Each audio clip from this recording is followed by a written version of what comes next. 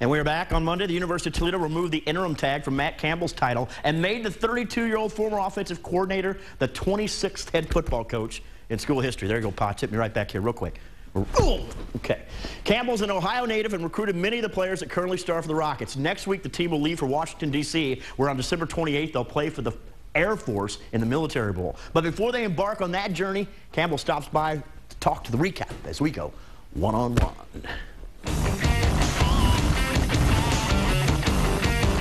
Campbell, thanks for coming in, and I really appreciate it. Let's uh, let's talk about Coach Matt Campbell. Introduce yourself to Toledo right now. What uh, you're, you're from Ohio, from Canton. We talked a little bit in the commercial break, but tell me about yourself a little bit. Well, you know, I've been so fortunate. I, I grew up in Northeast Ohio from the Canton area. I grew up with two great parents, educators, and um, father who was a head high school football coach in the Massillon area, Massillon Jackson. And from there, I had the opportunity to go play at a great football tradition in Mount Union College, which played for Coach Larry Kehres, and it was a great tradition and then had the opportunity from there, got a graduate assistant job at that school down south and was there for two years and, and uh, left there and had a chance to go back to Mount Union as the offensive coordinator and, and what a what a tremendous experience it was for me. You know, played defense at Mount Union under Coach Kehres and had the chance to come back and then coach the offense and you know, what terrific experience, great offensive mind and but there really learned how to how do you build a program, how do you can you know consistently keep it at such a high level for so long and yeah, the lessons learned were invaluable and then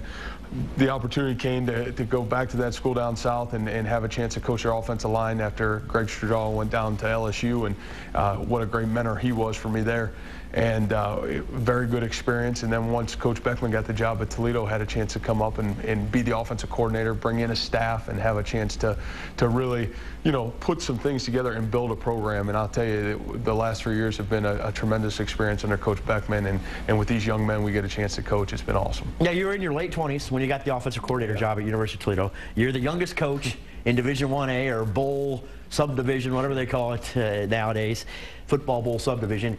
32. You said in your press conference that, that it, it, kind of bothers you that people throw that out there. Explain why. Well, I think, you know, no matter what step of the way, it's it's it's always been about age. And to me, age is it, what I said in the press conference. Age is it's a number. And and I think it's the experiences and the value of, of the places you've been and who you've learned from that prepare you for the opportunities at hand. And, you know, I, I think every step of the way, whether it be being the offensive coordinator at Toledo and now being the head football coach, I think that we've, we've been able to handle those challenges and put the right people around us and, and succeed. And I think that's what it's about. I argued, too, and I said this in the press conference, I think age helps you. Yeah because you relate to the players so much. The players were thrilled that you're going to be their next head coach. Not because you're an easy head coach, but because it, you're so accomplished. Yeah. And you recruited a lot of these kids. And you've known these kids since they were 16, 17-year-old high school guys. And now many of them are juniors and seniors. Well, I think in anything in life, relationships are so important. And I think that I've had the great opportunity to recruit so many of these guys and be in their homes and be a part of their families' lives for this this long. And it's been a tremendous opportunity that way. And, you know, I, I do. I, I think I said one of the most important things is in today's world and, and dealing with young men is you have to have to, the ability to put yourself in their shoes sometimes. And I think be able to relate to them. And I think uh, a great Coach Tressel quote that he says is, is that, that kids don't care how much you know until they know how much you care. And, and that's so important in, in, our, in our job, in our line of business. And I think whether it's myself or whoever else that will be on our football staff, that, that, that motto has got to be at the forefront of what we do. Your offense has been so explosive over the last few years years. Uh, you, you, had a stretch where you scored over 60 points in, in, two straight games against very good competition. Will you continue to call the offensive plays? Will you hire an offensive coordinator, or how's that going to shape up? Because that that's been your strength, and that was one reason Mike O'Brien hired you so quickly. Yeah. This guy is a this guy's a stud offensively. Well, I think that that one of the great things for us as an offensive staff is it's certainly not a Matt Campbell deal. It's it's it's been we've had tremendous players. We have players that play really really hard for us. Uh, we have a great offensive staff. Um, one of the nice things that I think I'm fortunate to have is to work with such great coaches on our offensive staff. And I said this, it's not a dictatorship on offense. It never has been. It's been a, it's been an equal opportunity deal for all of our coaches. And I think we've all blended really well together. And I think the strength of what we've done offensively is that we've had great continuity on our staff and we've had great, it's been one voice, you know, but it's a lot of people speaking the same message. And so I think first and foremost, we're, we're fortunate to keep that continuity going on offense.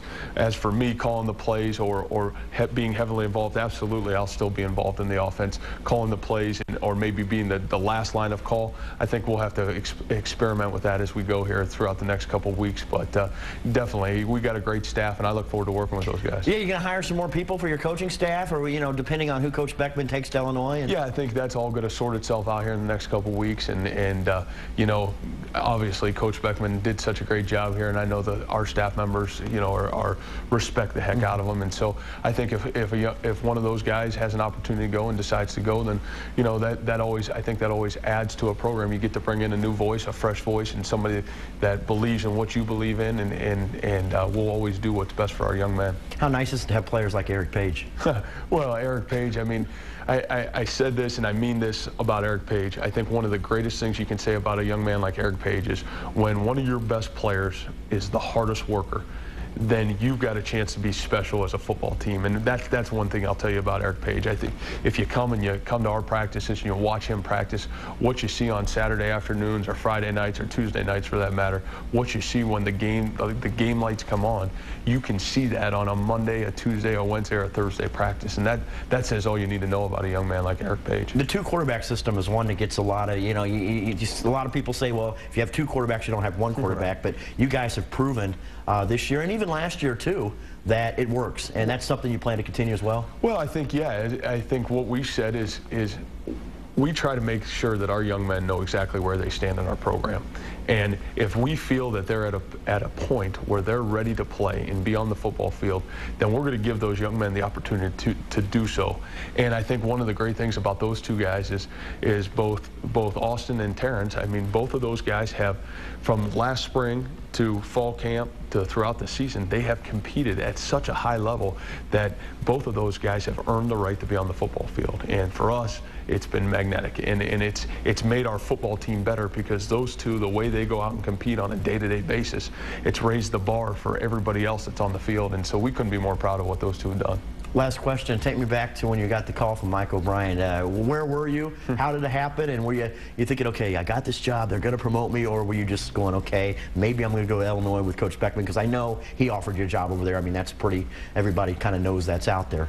Well, I, I, as a matter of fact, I was over in the Chicago area recruiting that day, and For, and, for Toledo, for Illinois. uh, for the Rockets, and, and uh, had an opportunity to be over there. And, and as soon as he called, I mean, it, it was a no-brainer for me. It, has been a dream of a lifetime for me to have this opportunity, and and more than anything, I, I'm just honored to be a part of of these young men on our football team, and, and again, our great staff, and it, it's it's a joy of a lifetime. So I look forward to the challenge, and, and it's a great opportunity for ourselves. Well, I have a feeling you're going to be very successful. We're looking forward to it. Well, I appreciate it.